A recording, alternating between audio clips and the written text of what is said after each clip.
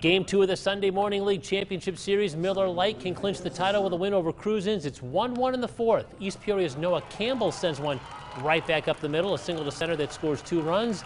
And here comes Miller Lite. Two hitters later, another East Peoria product. Colin Deering chops one through the right side.